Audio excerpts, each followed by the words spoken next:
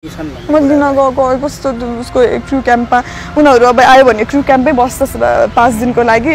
अघि म त्यहाँ गएर यति रोएँ नि यति रोएर कसको सामान म उसको लगेज बोकेर म यहाँ आएँ कि। उसको रुमको सब लगेज मैले लिएर आएर मैले अफिसमा बुझाइदिइसकेँ कि उसको कपडाहरू सबै कुराहरू। उसले आफूसँग त सानो ह्यान्ड क्यारी ब्याग लिएर गएको थियो उसको कपडाहरू सबै यहाँ थियो नि सबै यहाँ थियो। त्यसको रुममा गएर सबै लिएर आएँ मैले।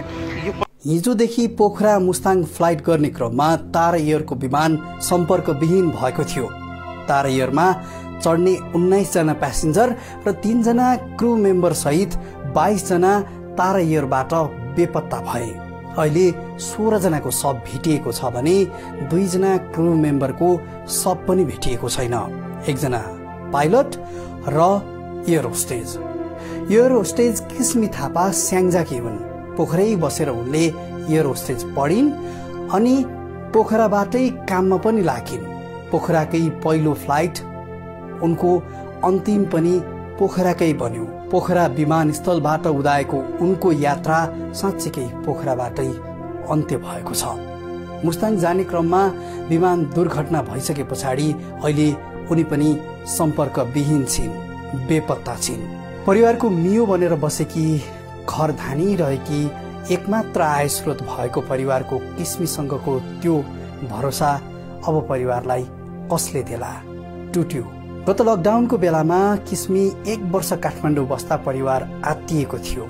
अहिले किस्मी उनीहरूबाटै विदा हुँदा साँच्चीकै कस्तो भएको होला? बहिनी नमस्कार। नमस्ते।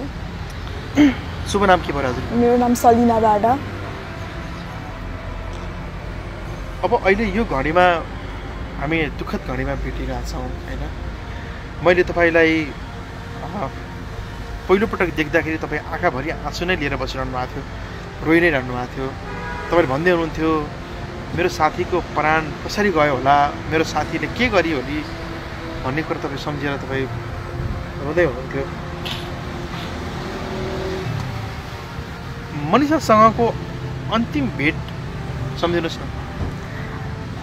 त्यो मनसा चाहिँ वेनसडे आएको पोखरा चाहिँ फ्लाइटबाट पाँच दिनको फ्लाइटबाट वेनसडे आएको। अनि सन्डे फर्किने थियो।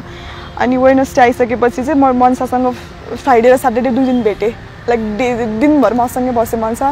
फ्राइडे पनि म मेरो घर लेखनाथ लेख्नबाट आएँ। फ्राइडे पनि हामी दिनभर क्रेजी केको गएर पानी परेको थियो। रातिसम्म बस्यौँ।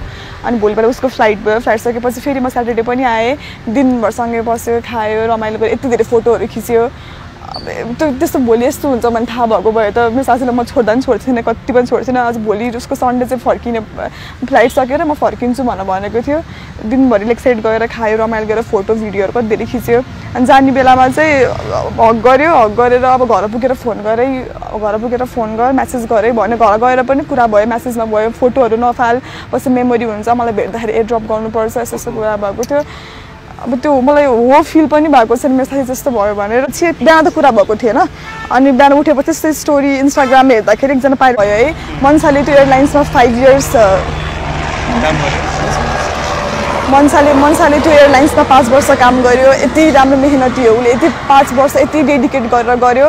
अब एयरलाइन्स कम्पनीलाई चाहिँ मैले रिक्वेस्ट गर्न चाहन्छु। उसको फ्यामिलीको आस नै सोर्स भनेको नै मनसा थियो अब अब यस्तो भइहाल्यो। अब एयरलाइन्सले राम्रोसित बुझेर उसलाई अब के के गर्नुपर्छ उसलाई कम्पन्सेसनहरू क्षतिपूर्ति सबै कुरा दिनु होला उसको फ्यामिलीको उनी थियो भने चाहिँ त्यो एयरलाइन्सले पनि रिक्वेस्ट गर्न चाहन्छु बुझेर सक्दो मनसाको मनसालाई मनसाको नामबाट मनसाको फ्यामिलीलाई हेल्प गर्नु हुन म रिक्वेस्ट गर्न चाहन्छु।